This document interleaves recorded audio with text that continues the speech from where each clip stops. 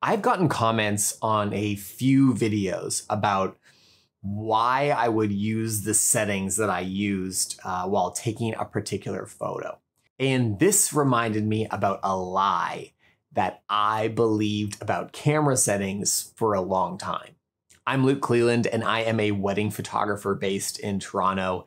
And ever since starting this channel, it's only happened a couple of times, but I have gotten a few comments where they were just like, why did you have your ISO like this? Or why is your shutter speed so high? Or why did you do it this way? And it it reminded me about, about this mindset that I had. And it lasted through several years of me beginning as a photographer. I believed that there was like this perfect camera setting that for every single photo I took, there was like the ultimate and perfect camera setting. So I always kind of felt a little embarrassed, as self conscious about the settings that I had chosen. And I remember thinking if I could just see what settings other photographers used on their photos, then kind of everything would just change for me and I would know the perfect golden settings. And guess what?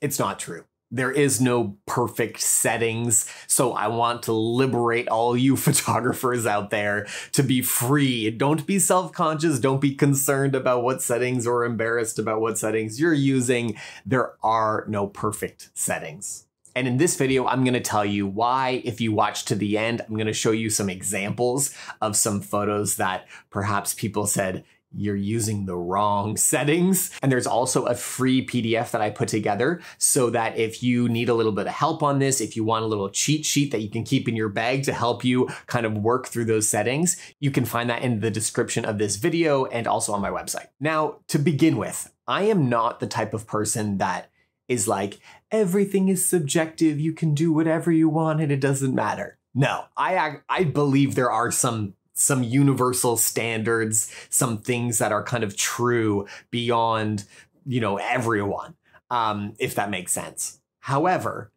uh, camera settings are just not like that. Uh, there is a range of correctness within camera settings. Camera settings are not like I don't know, art class in elementary school where you just have like a pass or fail, just like correct or incorrect. That's that's not how it is. Uh, there are thousands of combinations. Um, I like to think of camera settings much more like cooking. Um, there are thousands of ways to make a chicken dinner, for example, right? You can make it really tasty and moist. You can make it really hard to eat, unflavorable, uh, dry, where you have to like drink something every time you eat the piece of chicken because it's so dry, like the desert. There are so many different things that you can add to the chicken. the only thing that you really have to worry about is salmonella. You just don't want to kill the person that you're cooking for. So I understand that I really got into chicken there, but the point is is that you can have fun. Like as long as you cook the chicken, as long as you get the image to where you want it to be, you can do so many different combinations. You can have fun. You can have different ways of creating an image, and that doesn't mean that it's necessarily wrong. Where I think this understanding comes from, it comes from when you have a really basic understanding of camera settings.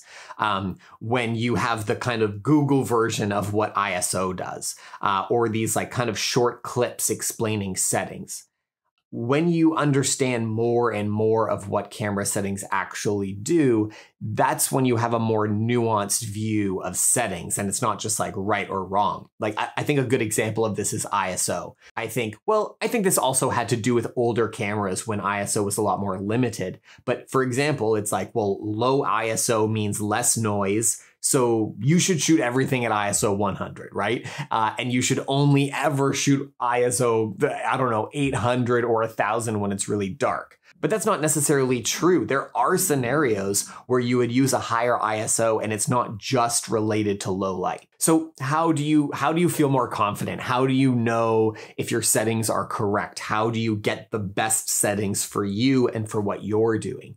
And something that really helped me, well, there was two things. The first thing is that I started shooting on full manual. If you don't shoot on full manual, you're just not going to get the best understanding of how camera settings work. You're always going to be relying on your camera to make that decision. And if you start, I'm not saying use full manual for everything you shoot. I'm just saying use it more if you don't use it at all, especially when you're shooting on your own and you have time where you're just shooting for fun. Um, if you if you work your brain and have to figure out all of the settings, that's when you're really going to learn and comprehend how they all work with each other. The second thing is to create a little system for yourself and do the same thing over and over and over again until you get more confident with your camera settings. So, for example, choose the ISO. And whenever you're setting up to take a photo, start with the ISO every single time. And as you're going through the three main settings, just ask yourself questions. Even saying out loud can be really helpful. Like, this is what I'm doing. I am choosing 800 ISO because it is a little dark and I need a little bit more exposure and then take your camera and then be like, okay, so that's the ISO. I'm setting it at 800. Let's do the next one. The next one is aperture.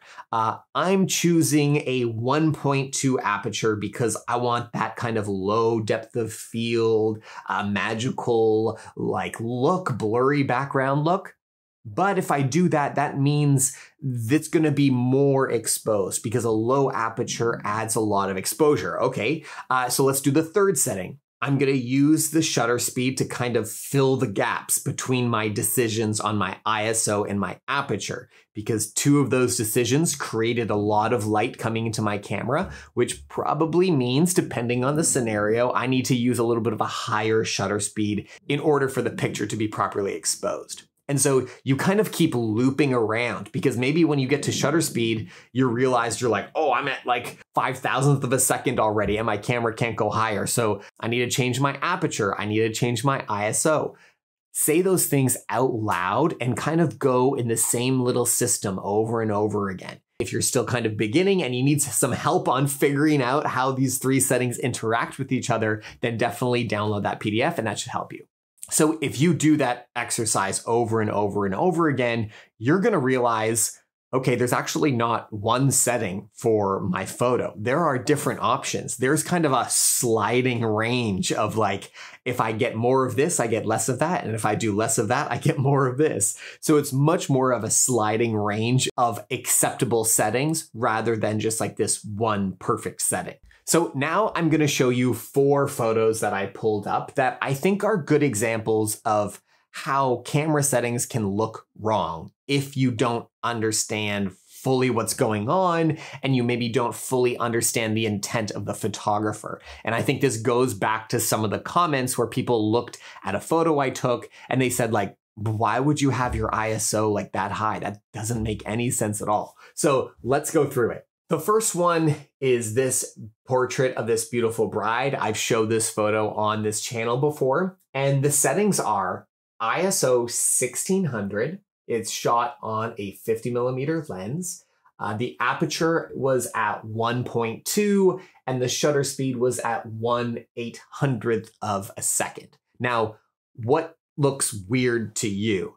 Uh, I would say that if I had no idea what was going on, perhaps the ISO being at 1600 and the shutter speed being at 1 800th of a second seems weird, right? The ISO seems too high. Like you could have brought that ISO down to 800 or 400 and also brought down the shutter speed because I'm not moving. This is a this is a stationary portrait. Like why did I choose these weird settings? Well, that's because as a wedding photographer, there are a million things going on at any given time. There is so many considerations that you have to have. You're never just in some sterile environment taking one photo and and then you get just like the most, you know, ISO 100 where everything's just perfect and easy. No, when you're a wedding photographer, you're like thinking 3 steps ahead. You're thinking about what's going to happen now. What other photo am I going to have to take uh, 2 seconds after this shot? And that's the consideration that I had for this photo was I was doing portraits of the bride, but I was also turning and getting reactions of the people that were in the room. I am a photographer that does not like doing things over and over again. I let things happen as they go and I shoot them in the moment. And so, what I have to think about a lot is not only the lighting scenario that I'm looking at, but often the lighting scenario behind me or to the side of me. Because there was her mom in the room, there was some bridal party members in the room, and what I was doing was shooting the portrait, and then I would flip over and get a reaction shot of the mom, for example, watching her her daughter getting ready for her wedding day. And so part of that consideration was the bride was in the brightest section of the room, but everyone else were in very dark areas of the room. And so what I had to choose was I actually chose a higher ISO so that when I was flipping between, I could move up the shutter speed to shoot the bride in this very bright area. But then when I moved over to get a reaction, all I had to do was flip down the shutter speed to an acceptable range. So I w- I didn't have to like move it down to like a fifth of a second and it just be blurry and horrible. I had to have it within a range that I could shoot two lighting scenarios very quickly and easily. Now, I already know what some of you are going to say. Why don't you just do aperture priority and let your camera deal with the shutter speed? Okay, that is very valid. And there are times in my career that I have shot a lot on aperture priority. And that is, if you don't know what that is, that means you set the aperture, the camera figures out your shutter speed based on the lighting. Now, the thing is, you still have to set the camera's metering to be correct. And the issue is, is I shoot in so many different scenarios, I have a hard time um, getting the camera to do exactly what I want. Partly because I shoot for, like, look at this photo, for example. It, she's wearing a white dress and it's backlit. And then I'm going to be switching to people that aren't in a white dress that aren't backlit. And so even the camera would have a difficult time knowing exactly what I'm looking for in those two scenarios. And so I just find it that I like personally shooting all the wedding day in manual settings.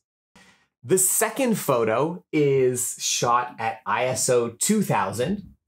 Uh, it's with a 35 millimeter prime lens. The aperture is at 1.8 and the shutter speed is 1 six thousand four hundredth of a second.